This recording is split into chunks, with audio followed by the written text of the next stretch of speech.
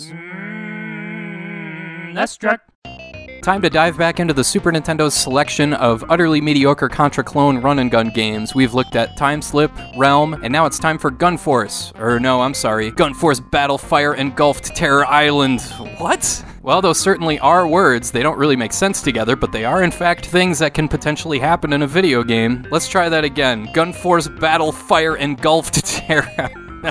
nope, can't do it. All that title is missing is an and knuckles at the end. Gunforce started out as an arcade game in 1991 made by IREM, and it's a perfectly decent game with some hilarious sounding screams when enemies die.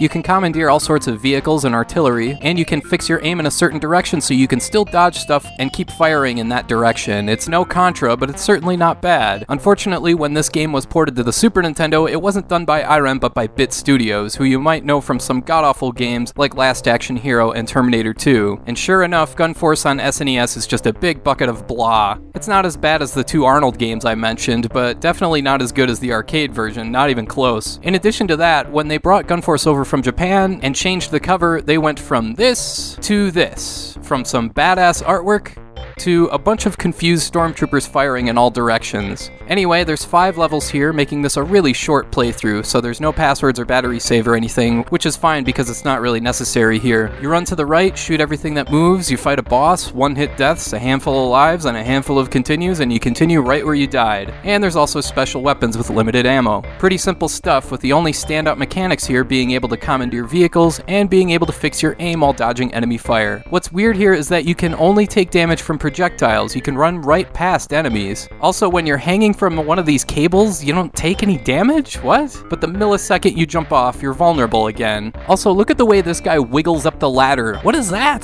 Commandeering vehicles might sound like a cool idea, and sometimes it works, but most of the time it's extremely clunky. Look at this big honkin' helicopter. I'm outrunning the screen. This is freaking ridiculous. The ideas are strong here, but the execution is bad. Gunforce just screams early Super Nintendo. This game was ported in 1992, and it definitely shows. The backgrounds, the colors, the blockiness, the floaty controls, and man, I mean floaty, it's like jumping on the freaking moon. This game could have been much better, but the execution just seems rushed. One saving grace for Gunforce is that it's two-player co-op, and this cartridge is usually around $10 or so, so if you want a multiplayer game to play on original hardware and you don't want to shell out $35 for Contra 3, then I can understand the appeal.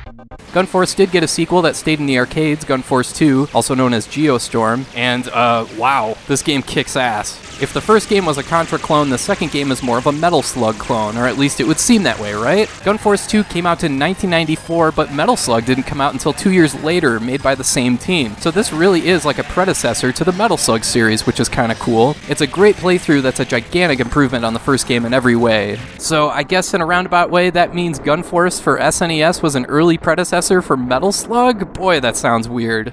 Gunforce is one of those games where your enjoyment depends a lot on your expectations going into it. If you hear that it's a Contra clone, but it doesn't look, sound, or play as smoothly as Contra, you're going to be disappointed. If you don't compare it to Contra at all and go into it as just another run and gun, eh, who am I kidding? It's still not very good. But hey, sometimes people aren't looking for instant classics. They're just looking for something they hadn't heard of that could potentially kill a quick 30 minutes. And hey, this game can definitely do that, especially with a second player. However, I do have to point out that if you're expecting an accurate arcade port, that's another disappointment, so keep that in mind too. Personally, I didn't really think much of Gunforce on Super Nintendo, and I'd much rather play the arcade version.